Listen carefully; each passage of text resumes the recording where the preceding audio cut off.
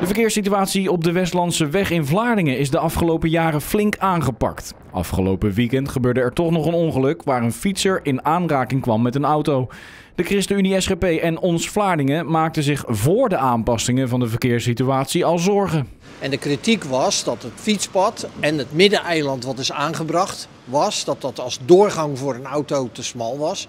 Wat altijd in zou moeten houden dat die auto, als die dat middeneiland passeert, over dat fietspad gaat.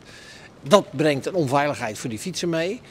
Uh, en dus hebben wij gezegd, is dat niet onveilig? Nee, zei het college als antwoord. Juist die maatregelen hebben ertoe geleid dat de positie van de fietser verbetert.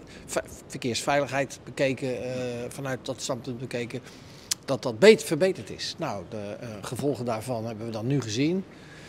Ja, en dat is natuurlijk uh, ontzettend jammer. Ik ben toevallig, heel toevallig ben ik er net voorbij gereden.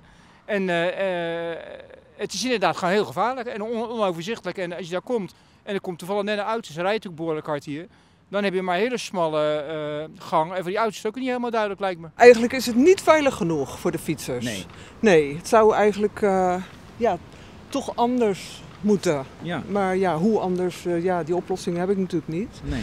Maar wel veiliger, ja. Ja. Ons Vlaardingen gaat naar aanleiding van het laatste ongeluk opnieuw vragen stellen in de komende raadsvergadering. Duidelijk is dat die fietsveiligheid daar niet verbeterd is. Wat zou er volgens u wel moeten gebeuren qua andere maatregelen? Ja, dat is wel een hele interessante vraag, want ik geef toe dat dat niet zo eenvoudig is. Maar ja, de vraag of dat middeneiland nou echt uh, datgene is waar we op hebben zitten wachten. Want dat heeft die uh, positie van die fietsen daar nou juist verslechterd. Als u het nou voor het zeggen zou moeten hebben en, en u kijkt daar zo eens naar, wat zou u dan anders doen? Uh, ik zou in principe de hele vlucht, die vlucht even weghalen en helemaal niks veranderen. Nee. Het was helemaal niet zo onveilig.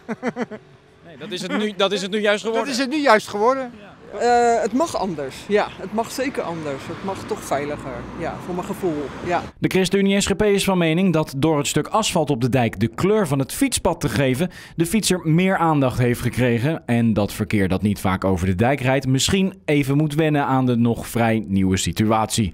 Volgens de partij is het dan ook lastig om te zeggen waar de oorzaak van het ongeluk van afgelopen weekend ligt. Dus ik denk uh, dat die dat middeneiland uh, op de een of andere manier, op een andere wijze uh, daar neerzetten. Waardoor die ruimte voor die fiets uh, duidelijk wordt en dat je die streep ook gewoon doortrekt. Dan maak je het in ieder geval duidelijker.